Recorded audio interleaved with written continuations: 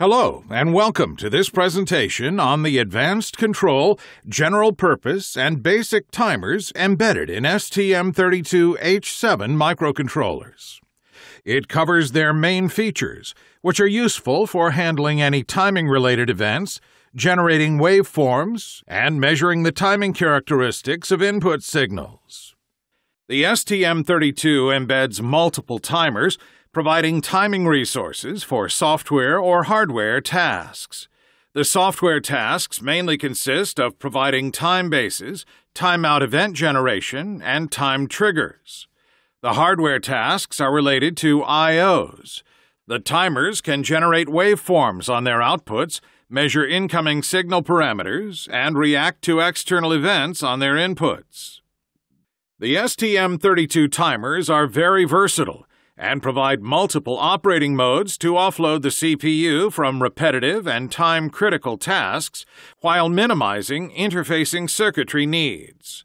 All STM32 timers, with the sole exception of the low power timer, are based on the same scalable architecture. Once the timer operating principles are known, they are valid for any of the timers. This architecture includes interconnection features and allows several timers to be combined into larger configurations. And allows several timers to be combined into larger configurations. Lastly, some of the timers feature specific functions for electrical motor control and digital power conversion, such as lighting or digital switched mode power supplies. Here are the key features of the STM32 timers. All timers are based on the same architecture and are available in several derivatives listed later in this presentation. The timers mainly differ in the number of inputs and outputs they have, from a pure time base without any I.O.s to an advanced control version with 9 I.O.s. Most of the timers feature 16 bit counters, while some have 32 bit counters. Some features may not be present on the smallest timer derivatives, for example, DMA, synchronization, and up down counting modes. Most of the timers can be linked and synchronized to build larger time based timers, have a higher number of synchronous waveforms, or handle complex timings and waveforms. Within a timer, each and every channel can be configured independently as an input, typically for capture, or as an output, typically for a PWM. The timers can serve as a trigger for other peripherals, for instance, to start ADC conversions or to monitor the internal clocks, thanks to the interconnect matrix. This slide presents the block diagram of the medium featured TIM12 timer. The timer kernel consists of a 16 bit up counter coupled with an auto reload register to program the counting period. The two timer channels are controlled by two capture compare registers. The counter is fed by the clock and trigger controller, also responsible for the timer chaining. Shown on the left are the input stage and the input conditioning circuitry, while on the right we have the output stage. Note that TIM-X Note that TIM-X Channel 1 and TIM-X Channel 2 appear on both sides to indicate they are both input and output capable. The timer features multiple clocking options. The clock and trigger controller, also responsible for timer chaining, handles the clock for the counter. The default clock comes from the reset and clock controller, linked to one of the APB clock domains. The various timers are shared on the two APB domains to implement low power schemes, typically one high speed APB and one low speed APB to limit the current drawn by the peripherals, including the timers. External timer clocking allows counting of external events or to have a counting period externally adjusted. The clock source can be provided by other on chip timers using one of the four internal trigger inputs ITR1 through ITR4. Input pins 1 and 2 can also serve as external clocks, with the option of including digital filters to remove spurious events. The external trigger input, or ETR, can be configured as an external clock with a digital filter, programmable edge sensitivity, and a first basic prescaler stage to reduce the frequency of incoming signals if needed. Lastly, the quadrature signals from an encoder can be processed to provide a clock and a counting direction, as described later in this presentation. This slide explains how to adjust the timer counting period. Each timer embeds a linear clock prescaler, which allows you to divide the clock by any integer between 1 and 65536. This allows the counting pace to be precisely adjusted. For instance, a division by 80 will yield a precise 1 MHz counting rate when the APB clock is 80 MHz. The auto reload register defines the counting period. In down counting mode, the counter is automatically reloaded with the period value when it underflows. In up counting mode, the counter rolls over and is reset when it exceeds the auto reload value. An update event is issued when the counter underflows or overflows and a new period starts. It triggers an interrupt or DMA request that is used for adjusting timer parameters synchronously with its period, which is useful for real time control.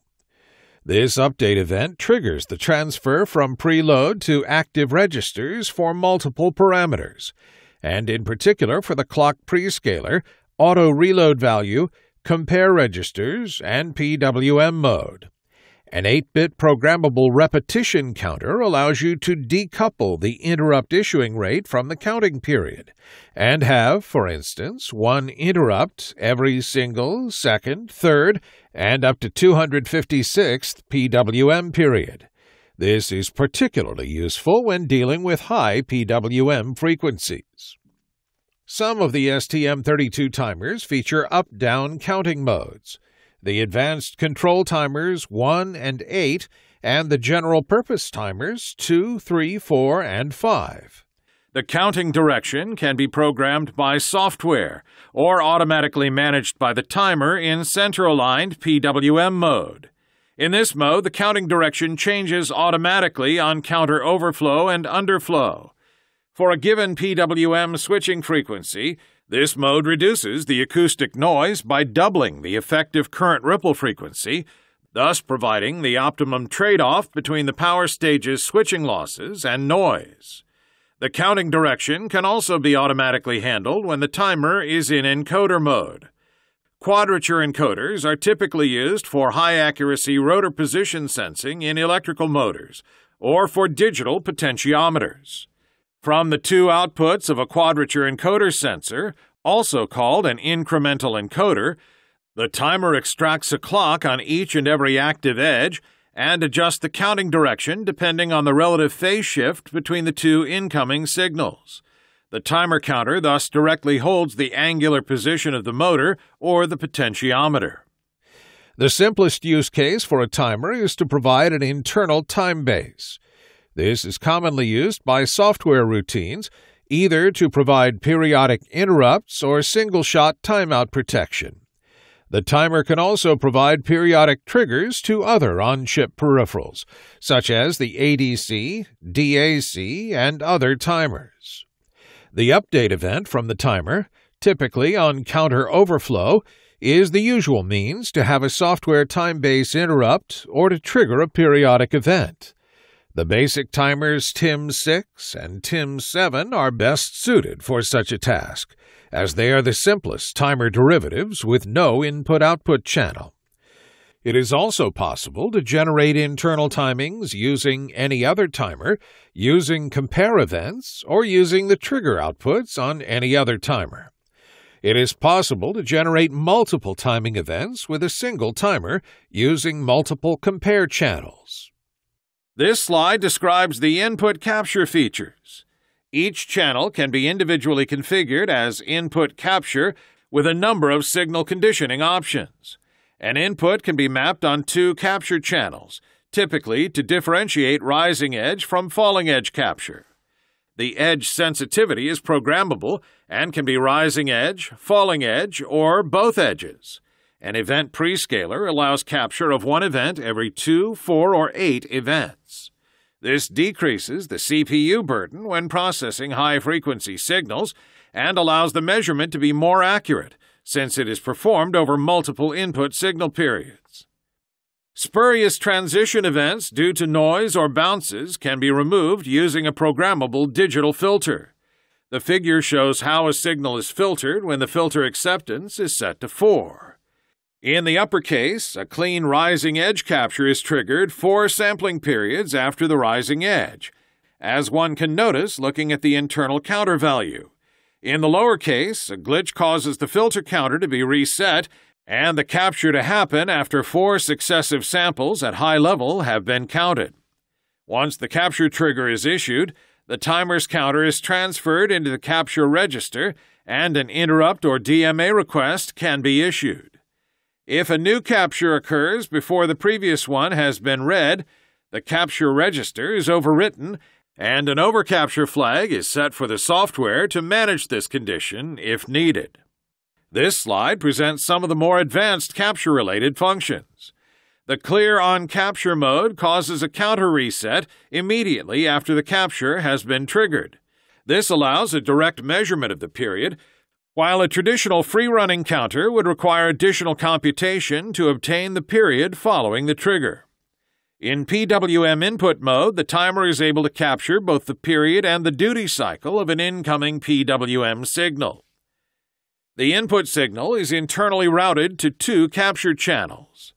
The signal's rising edge is captured on input capture 2 to provide the period value with the clear on capture mode. The falling edge is captured by the capture 1 channel, which provides the pulse length duration. The duty cycle then simply corresponds to the ratio between input capture 1 and input capture 2. Lastly, the timer includes an XOR function to combine the three input channels with XOR logic. This is typically used to handle the three 120 degree phase shifted signals coming from the Hall sensors in electrical motors. This allows you to have a clear on capture happening on each and every edge of the three signals and have a capture value directly usable for speed regulation. This slide presents the output compare features. A compare event is generated when the counter matches the value of the compare register. This event can trigger an interrupt or a DMA request and can be reflected on the corresponding output pin by an output set, output reset, or output toggle. The compare register can be preloaded. The preload must be disabled if multiple compare values must be written during a counting period. On the contrary, the use of preload mode must be preferred for applications with real-time constraints, since this gives a higher time margin for the software to update the compare register with the next value. The transfer from the preload to the active value is triggered by an update event, when the counter overflows or underflows. The output compare mode can also be preloaded, so as to allow glitchless transition from a PWM mode to a forced on or off state, for instance. One pulse mode is used to generate a pulse of a programmable length in response to an external event. The pulse can start as soon as the input trigger arrives or after a programmable delay. The Compare 1 register or CCR1 value defines the pulse start time, while the Auto Reload register or ARR value defines the end of pulse. The effective pulse width is then defined as the difference between the ARR and CCR1 register values. The waveform can be programmed to have a single pulse generated by the trigger, or to have a continuous pulse train started by a single trigger. One pulse mode also offers a retriggerable option. In this case, a new trigger arriving before the end of the pulse will cause the counter to be reset and the pulse width to be extended accordingly. This slide presents some of the PWM modules. The standard edge-aligned PWM mode is programmed with the auto reload register defining the period and the compare register defining the duty cycle, the counter being in up-only or down-only counting mode.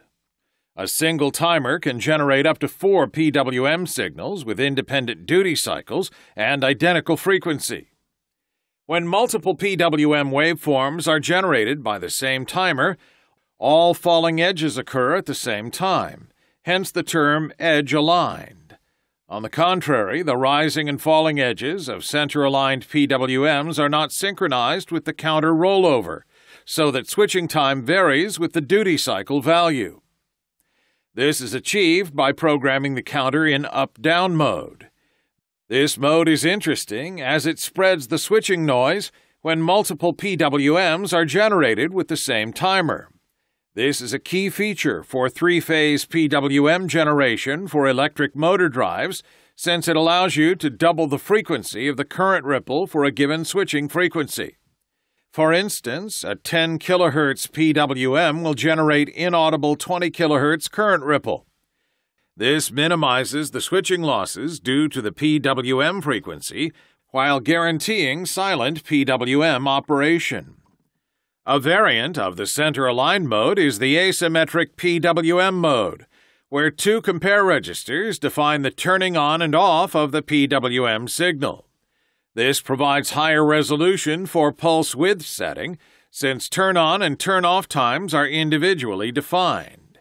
It also allows the generation of phase shifted PWM signals necessary to drive DC to DC converters based on the full bridge phase shifted topology. In this case, the timer provides two PWM signals with identical frequency 50% duty cycle, and a phase shift varying from 0 to 180 degrees. This slide presents the combined PWM modes. This mode allows a logic combination of two PWM signals to be generated by adjacent channels, output compare 1 and 2 or output compare 3 and 4. The PWMs can be ORed or ANDed to create complex waveforms. Typically, this allows you to have two periodic pulses generated with any pulse width and any phase relationship value. The combined three phase mode specifically targets three phase motor control applications. In this case, channel 5 of the timer can be combined with any of the three channels, 1, 2, or 3, to insert a low state in the middle of a centered pattern PWM signal. This mode greatly simplifies the implementation of low-cost current sensing techniques for three-phase motor control using a technique usually referred to as zero-vector insertion. This slide presents some more specific PWM modes, where either the frequency or the duty cycle can be driven by external signals. The timer can provide variable frequency signals using an external reset signal connected either on the ETR or on the channel 1 or 2 inputs. The purpose of this mode is to provide a signal with a fixed on or off time and a continuously adjusted frequency controlled by the hardware. The timer provides control for the on or off time using the compare register while the auto reload register guarantees that the PWM will not stop if the external reset is missing, thus providing a safe control in boundary conditions.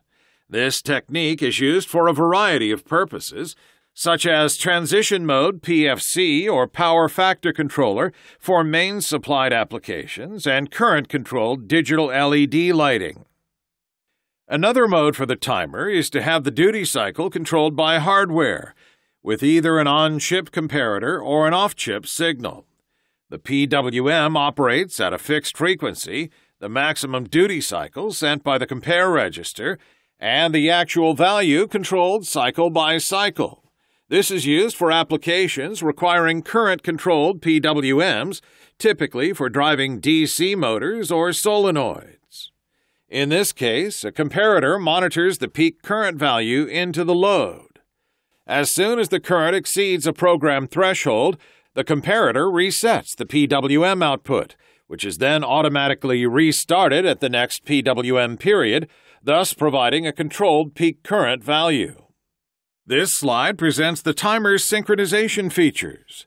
The trigger controller allows you to cascade multiple timers in a master-slave configuration. A timer can control one or more timers as the master timer or be controlled by another timer as a slave. The clock and trigger controller acts as a link between the timers.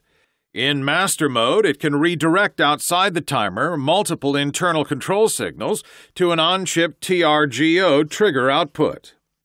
In slave mode, it gathers multiple inputs on the TRGI, the main trigger input, coming from the external trigger pin, or ETR, or from one of the four internal trigger inputs, ITR1 to ITR4, connected to the other TRGO outputs. Additionally, the input capture 1 and 2 pins can also be used as an internal trigger, typically to reset the counter. Slave and master modes can be programmed independently. A given timer can thus simultaneously be operating in slave and master modes in a cascaded configuration, accepting input triggers while providing output triggers. This slide lists the various operating modes and the signals exchanged between timers. In master mode, eight options are given for selecting the trigger to be sent on the TRGO output. The output can be a single synchronization pulse issued upon counter reset, counter enable, which corresponds to the counter start, the update event, or the compare 1 match event. Alternatively, the TRGO output can also transmit one of four waveforms generated, including PWM signals, to the other timing modules. In slave mode, the timer operating mode is controlled by the TRGI input. In triggered mode, the counter start is externally controlled. This mode is used for simultaneously starting multiple timers. In reset mode, the counter is reset by a rising edge on the TRGI input, typically for variable frequency PWM operation. A combined mode, including reset and trigger, can be used for retriggerable one pulse mode generation. In gated mode, shown in the figure, the counter is active only while the level on the input signal is high. This signal either comes from an input or from another timer in waveform generation mode.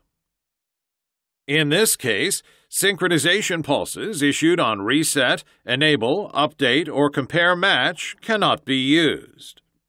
Lastly, the slave mode selection includes clock related modes, such as quadrature encoder decoding or external clocking modes mentioned earlier in this presentation.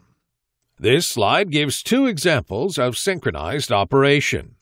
The first example shows how four timers can be simultaneously started.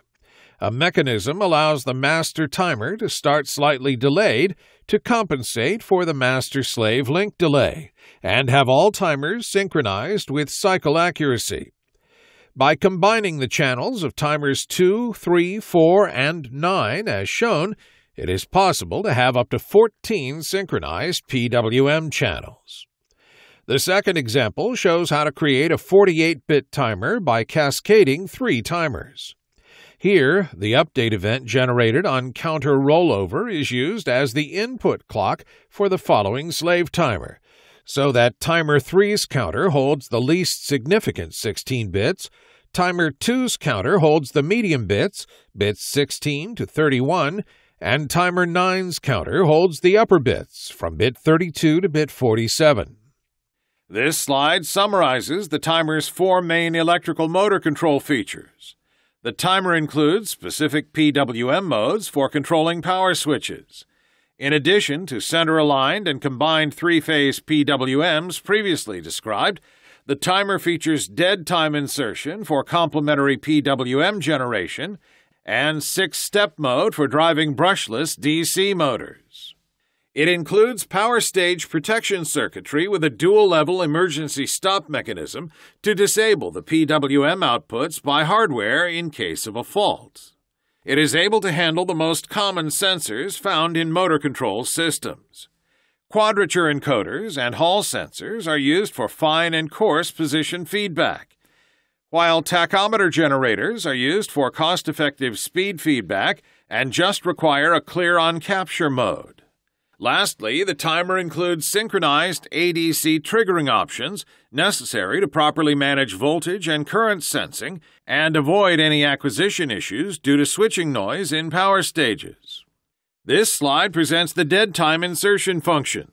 A hardware dead time generator provides two non overlapping complementary PWMs from a reference PWM signal. The STM32 timers include up to three dead time generators for OC1, OC2, and OC3 channels. The dead time duration is programmed with an 8 bit value. This value can be locked by the user, to prevent this critical value from being corrupted during runtime. This is done by setting a write once lock bit, which switches the dead time register into read only mode until the next MCU reset. Dead time insertion is necessary when driving half bridges, where a pair of transistors are connected in series between two power rails. In this case, it is necessary to insert some time before the switch on of one side to allow the other side to switch off, taking into account physical switching characteristics. Half bridges are usually found in DC to DC converters for DC or stepper motor drive using the full bridge topology shown here, or for three phase inverters with three PWM pairs. This slide shows how the six-step drive, also called block commutation, is managed with the STM32 timer. It consists of chaining two timers, one handling the three Hall sensor signals, while the other manages the PWM generation synchronized with the rotor angular position, generating six successive steps. The first timer operates in clear-on capture mode, triggered by the three inputs. A compare register, here compare 2, is responsible for adding a programmable delay between the raw angular position and the commutation time. The capture register 1 holds the timing interval between successive Hall sensor edges and is necessary for the speed regulation loop. The compare to match event is propagated to the slave timer through the TRGO output. These events serve as commutation events and trigger changes for PWM generation. For each of the six steps of the sequence, the states of the six outputs are defined to be either forced active or inactive or generating a PWM signal. The transition from one step to the other is preloaded by software in the commutation interrupt routine and automatically transferred by hardware to reprogram the output operating mode when the next commutation arrives. The figure at right shows the six PWM signals for two consecutive complete six step sequences, together with the current in one of the motor phases. This slide presents the break function. A break event triggers a hardware protection mechanism that automatically disables the PWM outputs and forces them to a user configurable state, either low impedance with high or low level, or high impedance. The logic circuitry works asynchronously, without any clock. This guarantees the functionality even in case of a system clock failure and avoids any clock related propagation time that would tend to delay the protection. This feature is available on all timers having complementary PWM outputs, which are capable of performing power conversion tasks, timers 1 and 8. Timers 1 and 8 have two separated break channels. This provides a dual level protection scheme, where, for instance, a low priority protection with all switches off can be overridden by a higher priority protection with low side switches active. Furthermore, a dead time delay can be inserted immediately before entering the fault mode for safely disabling the power stage. This prevents potential shoot through conditions. Let's consider, for instance, that the fault occurs when the high side PWM is on, while the safe state is programmed to have high side switched off and low side switched on. At the time the fault occurs, the system will first disable the high side PWM and insert a dead time before switching on the low side. This slide presents how the break function sources are managed. Multiple break sources can be combined for triggering a break event. Two system level sources can be selected the Clock Security System, or CSS, indicating an external clock failure, and the Programmable Voltage Detector, or PVD, indicating a dropout on the VDD supply or on the PVD in inputs. Break inputs can also be selected with the alternate function controller on the product pinout or from the DFSDM Sigma Delta demodulator output. External sources can be conditioned before entering the break detection unit. This enables the selection of the proper polarity and discarding of spurious glitches by means of a digital filter. This slide presents the ADC triggering options related to the timers. The ADCs can be triggered with most of the STM32 timers, with three options. This can be done using compare events. The ADC conversion will start on a given compare match.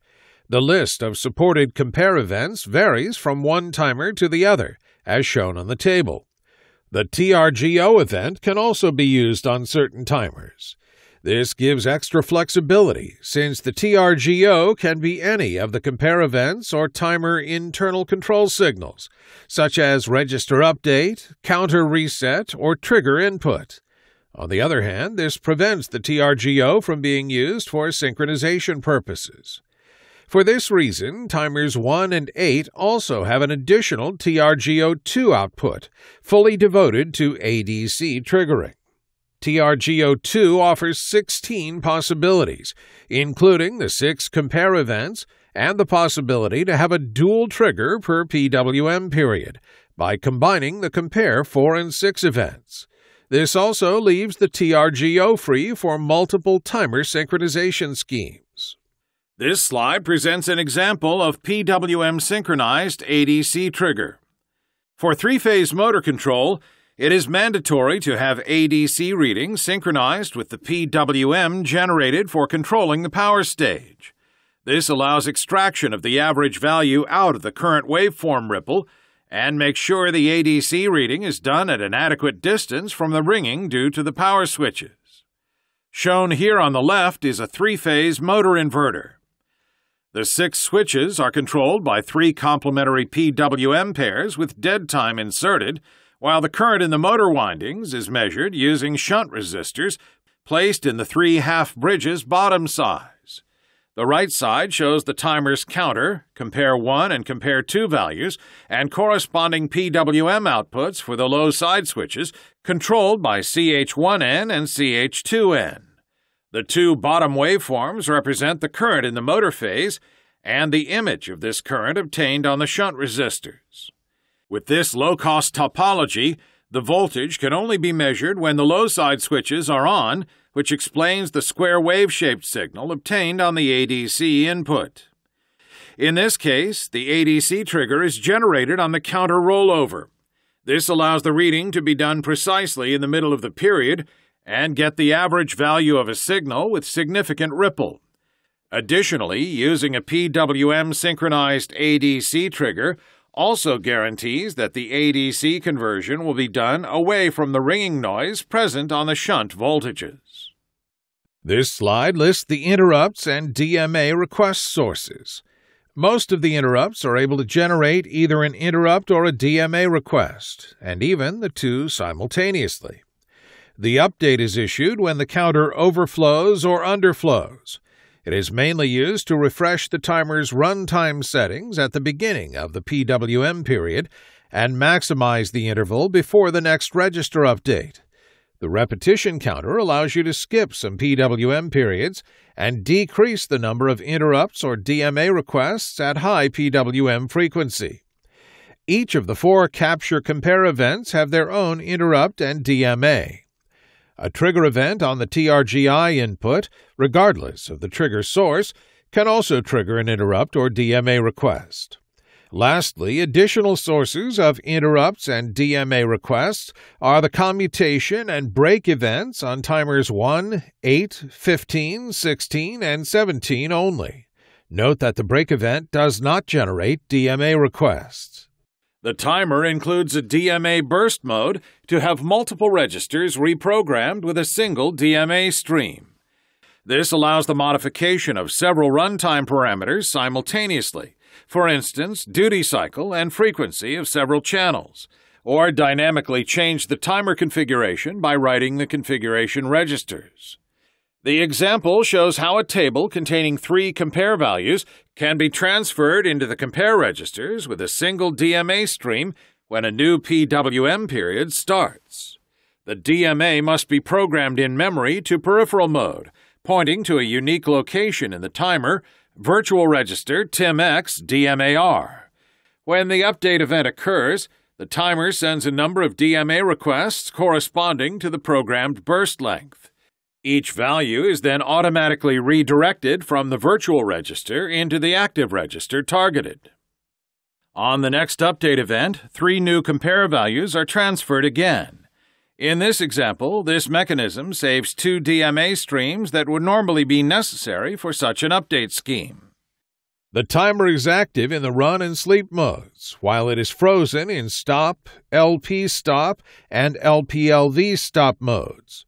The timer state and register content are preserved, and the timer directly resumes operation when the MCU is woken up. In standby mode, the timer is powered down and must be completely reinitialized when exiting from this mode. The timer state in debug mode can be configured with two configuration bits per timer, one for the Cortex A7 and one for the Cortex M4. If the debug bit is reset, the timer clock is maintained during a breakpoint. If the debug bit is set, the timer's counter is stopped as soon as the core is halted.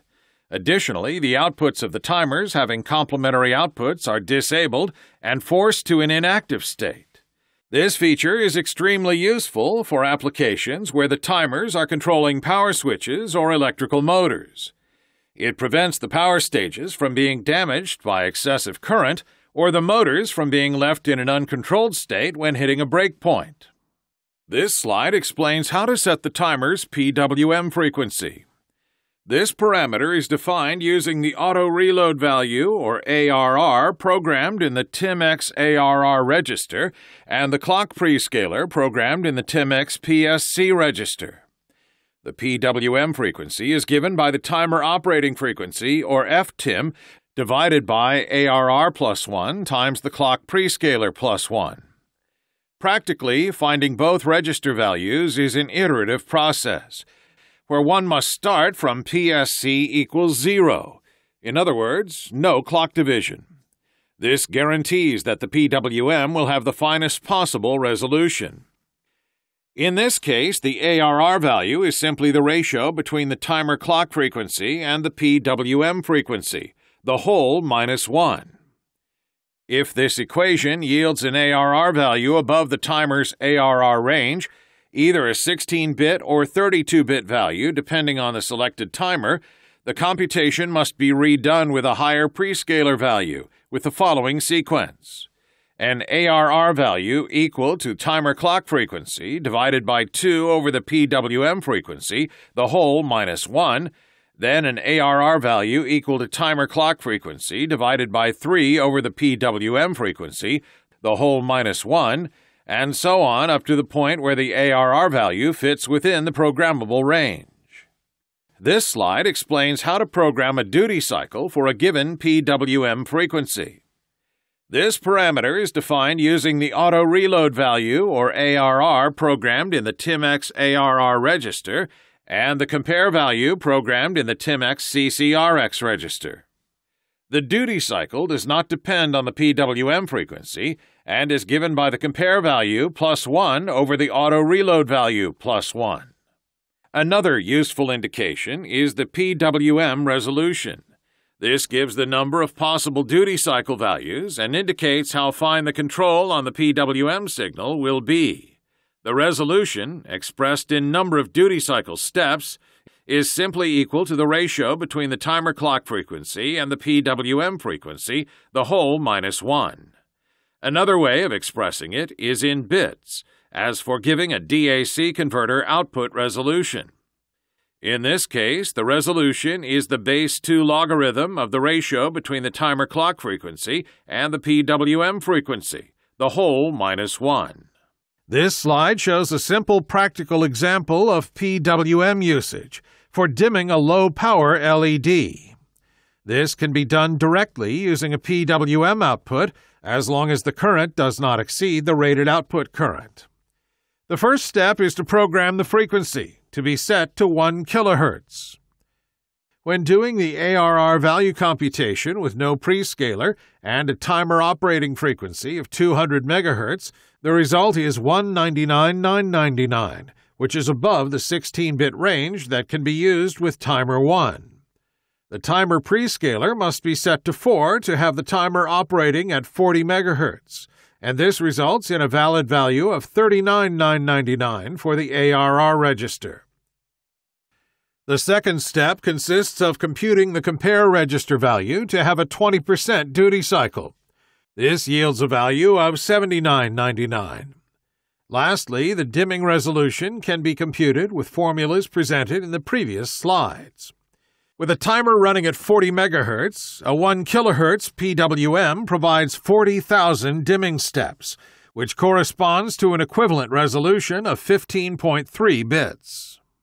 This slide explains a common support case where the whole timer is configured, the counter is started, the PWM mode is enabled, as well as the corresponding outputs, but there's still no activity on the pins. Usually, this is because the MOE bit or the CCXE bit was not set.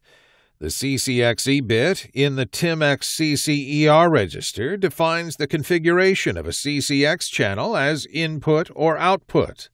The CC1E bit must be set to get a PWM signal on the CH1 channel. For timers equipped with dead time generators, timers 1, 8, 15, 16, and 17 a main output enable or MOE bit in the TIMX BDTR registers controls all outputs and acts as a circuit breaker in case of fault detection on the break input, global disable of all PWM outputs. The MOE bit must be set or armed to have the outputs enabled.